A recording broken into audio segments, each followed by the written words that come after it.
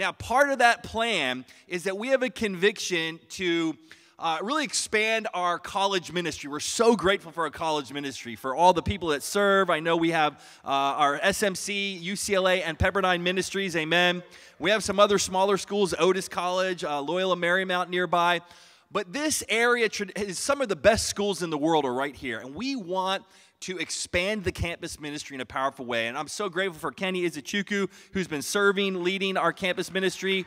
Uh, he's up at Pepperdine. Uh, he's got about a year left, a little less than a year to complete his Master's of Divinity and I'm uh, really proud of him. He's done incredible things up at Pepperdine. But what's happened is since he's in his full time uh, school and working almost full time, uh, really our work at UCLA, we've had Rachel serving valiantly and our students serving valiantly, but it's been really hard to get the momentum that we need to get. And so I really want us to bring on a campus minister to work at UCLA and SMC and partner helping Kenny so we can have really the hallmark campus ministry on the west side uh, of the LA church. We want this thing to go. It's going to take more than just a new campus minister. It's going to take all of our heart and energy and I know we're all in for this. But as part of that process, today we're going to have a guest speaker who is a graduate of San Diego State. He, uh, he was our, our summer intern. Uh, we all know him. He graduated from Culver City High School. He's a proven, he's done some great work in campus ministry. I'm really grateful for him. Today, he's going to preach the word. After he preaches the word, if any of you would like to have a little question and answer, we're going to be back in the garden room for like a, uh, like a good half hour after service so that if you have questions, you can ask him what he's thinking. Because uh, uh, as a congregation, as a staff, we'd like to make him an offer to be a campus minister. We want to get everybody's opinion on it. We want to have questions asked. And uh, we're going to get to hear the Word of God preached from a young man of God, but a powerful man of God, Mr. Justin Shump. Let's welcome him at this time.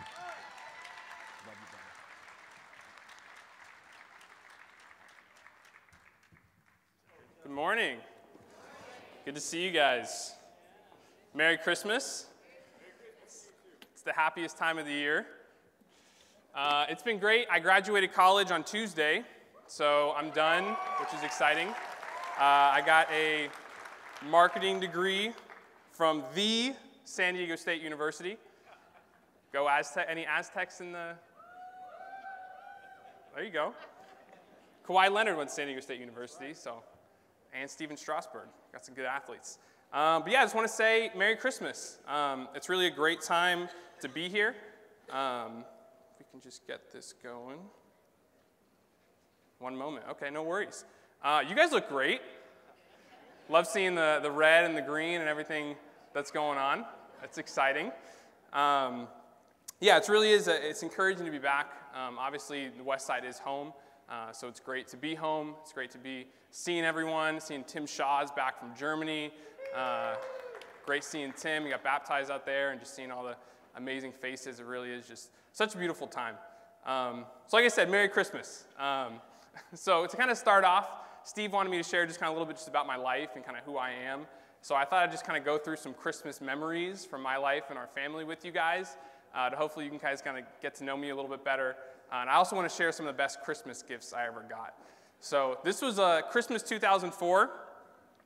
Yes, that is Slimecano, in case you guys weren't sure. This was this Hot Wheels set. Uh, and I thought this was literally the absolute coolest thing in the world. Uh, I was super hyped to get that. Um, this was Christmas 2006. I got a GameCube. Got a little more cheer. Uh, it was, it was, uh, I had Madden come with that, and it was playing football on it, and Lego Star Wars, and it was super fun. Uh, this was Christmas 2009. I got a ping pong table. Um, kind of a funny story with this was obviously you can't fit a ping pong table under a tree. And so my mom kind of had it set up in the guest room, and she had put a comforter over it. Um, and we had some relatives staying with us. My uncle was staying in that room. And so I woke up in the morning and I was super bummed that I, I didn't see a ping pong table anywhere. But I did see a mattress with a comforter that I could jump on. So I run in the air, and I jump and I body slam the new ping pong table. Um, but I was super excited because I, I knew what it was. Um, this is Christmas 2010. Uh, that's me in the blue, repping the UCLA Bruins parka. Um, we actually went on a trip with the Chows up to Flagstaff, Arizona. You can kind of see Nicole Chow. She's right there to my right. She got cropped out of the picture. Sorry, Nicole. Um, but it was a great time. Uh, it was my first and last time snowboarding. Uh, I didn't, didn't do too well. Um, Steve also said, you know, share some stupid things that you've done. Uh, so I kind of thought it'd be nice to include Christmas 2015. As some of you guys might remember, uh, this is my senior year, and me and Ryan Toomey decided to make a Christmas rap album called Wrapping Presents. and we were promoting it and telling everyone about it, but we didn't tell people what it was. And so some parents got concerned, and pretty much they thought we were planning an attack on the school. Um, so we both got interrogated by the police, and my parents thought about disowning me at that point. So those are just some of the kind of Christmas memories we've had. Um, you know, we're going to read uh, out of Luke chapter 2. You can turn there. Now, obviously, it is, it is our Christmas service. Uh, this time of year, we focus on the birth of Christ, the amazing birth that happens. And most of us have read uh, this story before, maybe many times. And we're going to be focusing on kind of the shepherds in the story of the birth. Um, so we're going to be talking about a lot about shepherds. and We're talking a lot about sheep. And so my title for the lesson today is Fleece Navidad.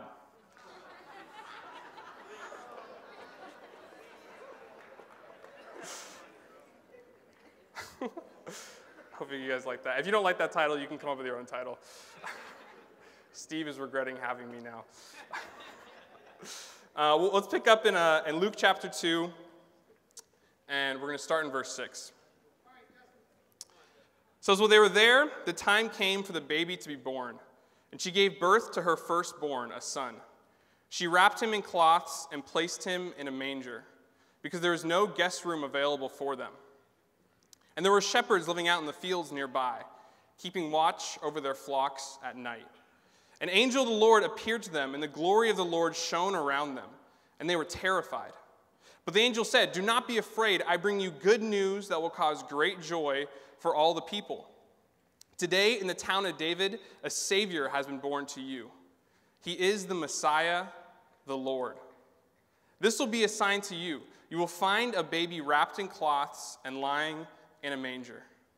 Suddenly, a great company of the heavenly hosts appeared with the angel, praising God and saying, Glory to God in the highest heaven, and on earth, peace to those on whom his favor rests. When the angels had left them and got into heaven, the shepherds said to one another, Let's go to Bethlehem and see the thing that has happened, which the Lord has told us about. So they hurried off and found Mary and Joseph and the baby, who was lying in a manger.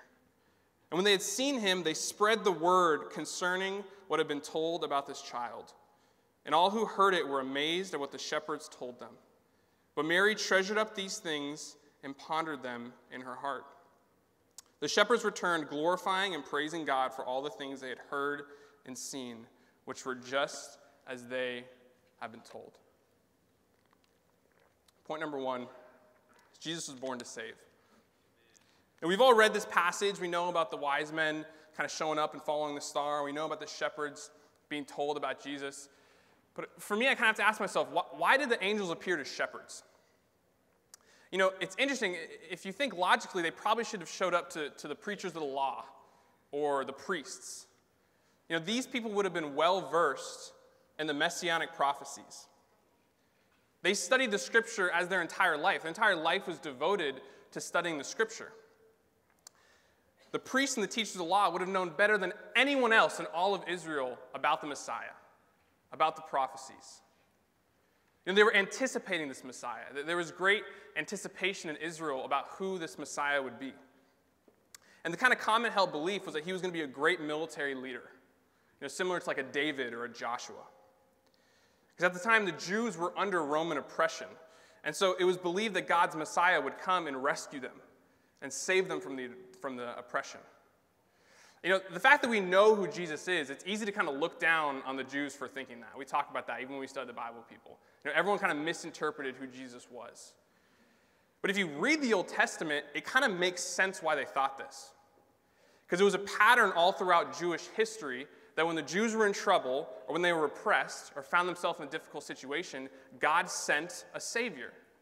He sent a strong leader and a lot of the times, he was a military leader.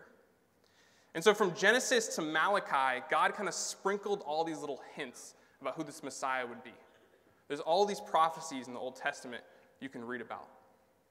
So the priests and the teachers of the law, they would have known these hints. They would have known the messianic prophecies. So, why didn't the angel reveal himself to the priests or the teachers of the law? Why did the angels choose the shepherds? The dudes who were hanging out with the sheeps and the goats all day. You know, to kind of answer this question, we have to understand kind of one, who these shepherds were, and also the context of what's going on in this passage. You know, it's believed that the, the shepherds in this passage were working in the fields by the Migdal Eder. In Hebrew, that translates to the tower of the flock.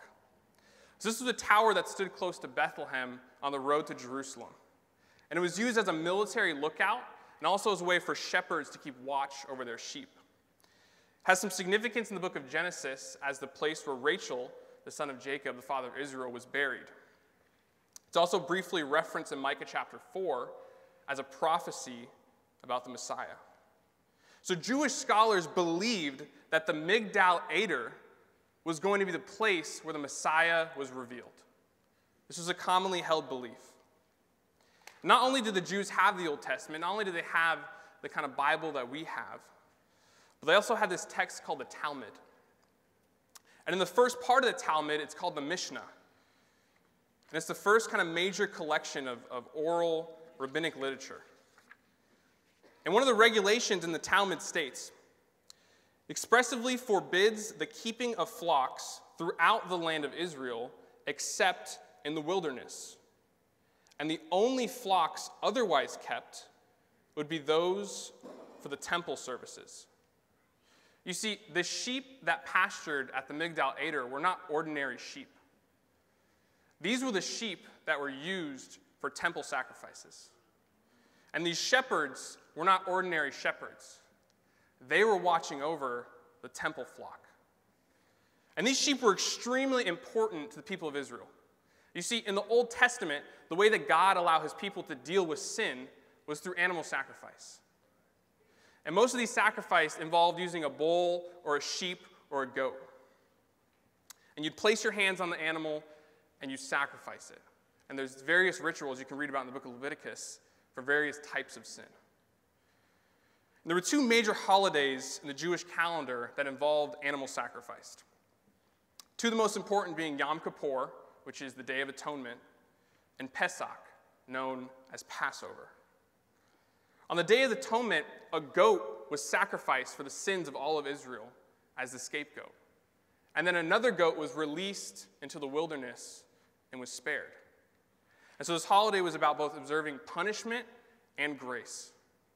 You know, Passover was celebrated in remembrance of the exodus out of Egypt.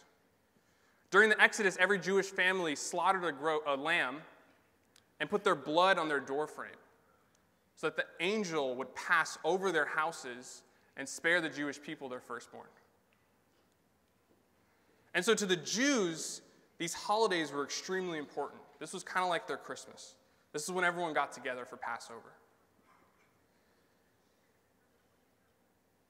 And for us, these holidays also have importance. It's different. You see, to the Jewish people, this is all about their history, about their heritage. And it was a huge event in Jerusalem when Passover would happen. You know, it's recorded by one historian that over 200,000 lambs were slaughtered one year at Passover. You know, as a Christian, the holidays are still important because they foreshadow Christ. You see, just as the lamb was sacrificed on the Day of Atonement, Jesus was sacrificed for our sins. You know, we are that goat that's set free. Just as the blood of the lamb was spread on Passover and the Israelites were spared from God's wrath, well, it's the same with Jesus' blood. Jesus' blood spares us and allows God's wrath to pass over. And what's crazy about these lambs used for the sacrifices is they couldn't have any defects. They had to be absolutely perfect. One broken bone, one bruise, and they cannot be sacrificed for sin. You know, as a Christian, Jesus is our perfect lamb. He lived a sinless life, he didn't have any blemishes. He represents that lamb to us. It's the reason why we can have a relationship with God. Now, because we have the completed Bible, it's easy to see these connections. You can look at the Old Testament, you can look at who Jesus was. We know that he died. So we can say, yes, he was the lamb. He is our sacrifice. But I think what's kind of crazy about this nativity scene of Mary and Joseph being in this cave and giving birth is I don't think Mary understood the baby she was holding in her arms. Because how could she? How could she know that this was the Lamb of God? How could she know that this little baby would be brutally murdered? And look at the language in Luke chapter 1, verse 29. It says, But the angel said to her, Do not be afraid, Mary. You have found favor with God. You will conceive and give birth to a son, and you're to call him Jesus. He will be great and be called the Son of the Most High. The Lord God will give him the throne of his father David. He will reign over Jacob's descendants for as forever, and his kingdom will never end. This sounds like the military leader that the Jews were expecting. Son of the Most High, sitting on a throne, ruling over Israel, a kingdom that will never end. You know, it's safe to assume that at this moment, Mary thinks she's holding the next king of Israel. Mary thinks that she's holding the person who will be the next powerful leader. But she did not know this was the Lamb of God. That's why I think God brought the shepherds. You know, having the shepherds who watched over the temple flock show up and be the first ones to see Jesus, this can't be an accident. God's much too clever. You know, it says that Mary pondered these things. She treasured them and pondered them because she didn't understand. Why are these shepherds showing up? Why did the angel tell them? She's pondering these things in her heart. You see, I think the shepherds understood. Because when the angels bring the shepherds their message, the language is different. But the angel said to them, Do not be afraid. I bring you good news that will cause great joy for all the people. Today, in the town of David, a Savior has been born to you. He is the Messiah, the Lord. Jesus is called a Savior. Nothing about sitting on a throne, nothing about ruling over people, nothing about a kingdom, just a Savior. And this is why the angels appeared to the shepherds. This is why God chose them to be the first to know about Jesus' birth. Because a shepherd who watched over the temple flock would have known better than anyone in all of Israel that Israel needed a Savior. They supplied the lambs for the Day of Atonement. They supplied the lambs for the Passover. I mean, imagine the pressure of raising a perfect animal. One broken bone, one bruise, one blemish, and it's over. Sins aren't forgiven. So they spent every minute of every day taking care of these animals, watching over them, protecting them from harm, only to see them brutally murdered. Sometimes thousands at a time because Israel had a problem with sin. And it was the same thing year after year after year. So to hear that the Messiah has been born, the Savior for all people, this is the greatest news they could have ever heard. To anyone else, a baby lying in a manger would have been a joke. But not if he's a Savior. You know, initially they probably should have been mad at little baby Jesus because he was going to put them out of business. Because once he died, you wouldn't need lambs to slaughter. Once God's wrath was satisfied, there'd be no, no more need for goats. But they were overjoyed. You know, I, I think it's kind of similar to if you went to a doctor and told them you have the cure for cancer. They'd be ecstatic because they would know better than anyone how devastating that disease is. Or if you went to a therapist and said, We found the cure for depression, they wouldn't be upset. They wouldn't be upset if they never had to see another patient, if they lost all of their business. Because a therapist would have known better than anyone how devastating depression is. They would have sat through thousands of hours of listening to people talk about the pain and the anxiety and the thoughts of suicide. And so to hear that there's a cure, to hear that there's an end to the pain and suffering, would have been the greatest feeling in the world. You know, I think the shepherds felt the same way. They would have seen hundreds of thousands of innocent little animals die because Israel's sin could not go unpunished.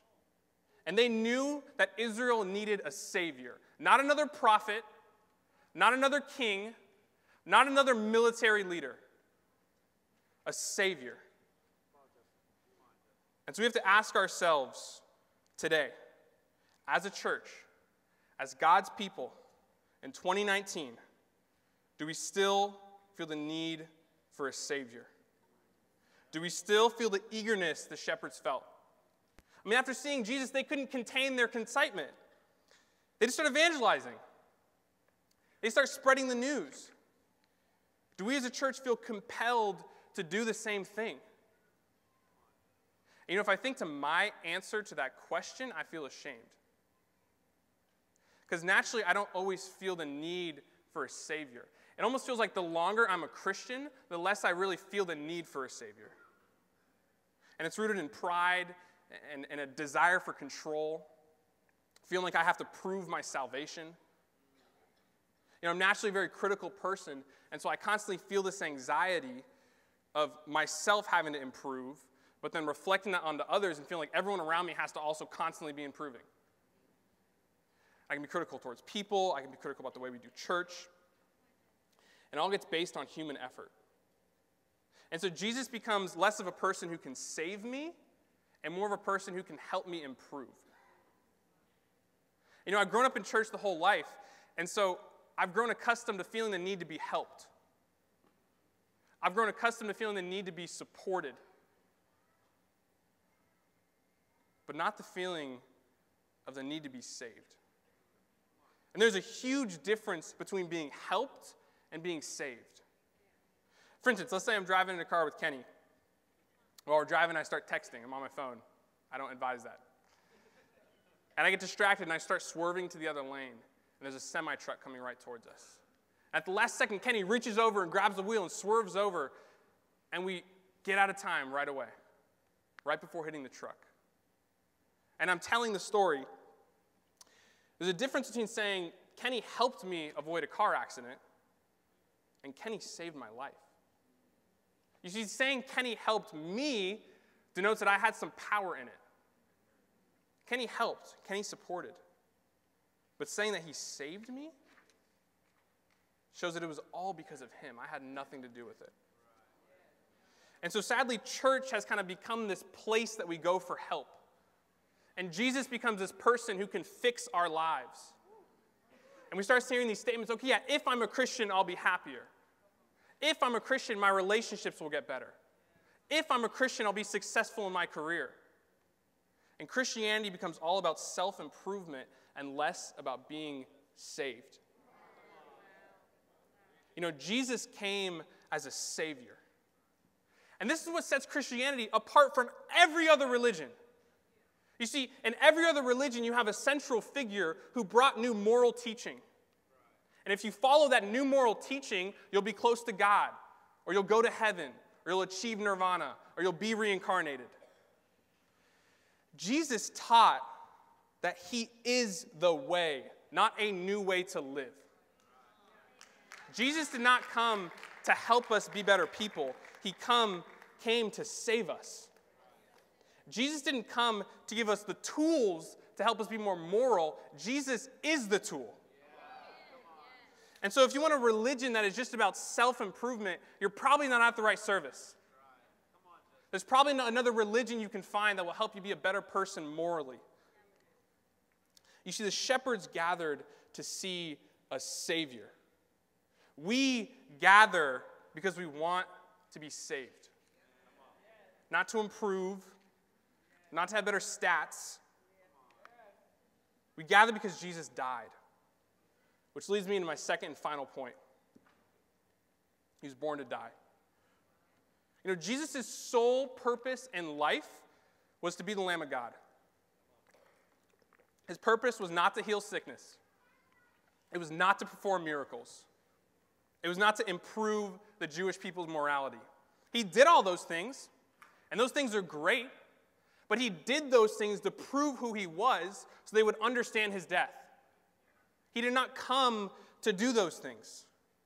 You know, Jesus did not even come to bring new teaching about repentance and baptism. That's not why he came. And it wasn't a new teaching.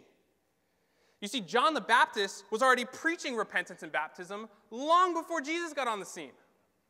I mean, look at this scripture right here in Luke 3. Time about John the Baptist.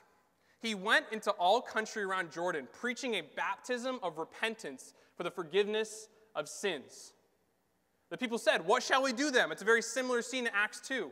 What shall we do? The crowd asked.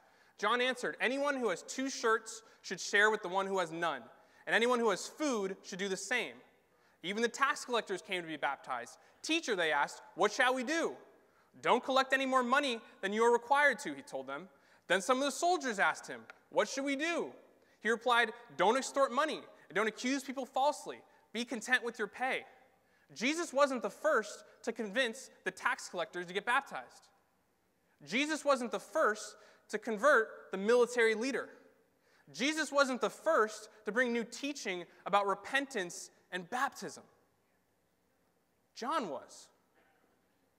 And these things are really good.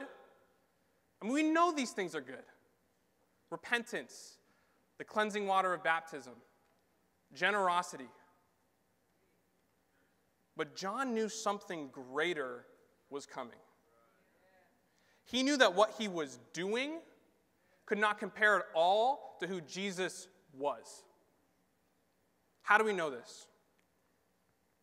John chapter 1, verse 29. The next day, John saw Jesus coming toward him and said, Look, the Lamb of God, who takes away the sin of the world. This is the one I meant when I said, A man who comes after me has surpassed me because he was before me. I myself did not know him, but the reason I came baptizing with water was so that he might be revealed to Israel.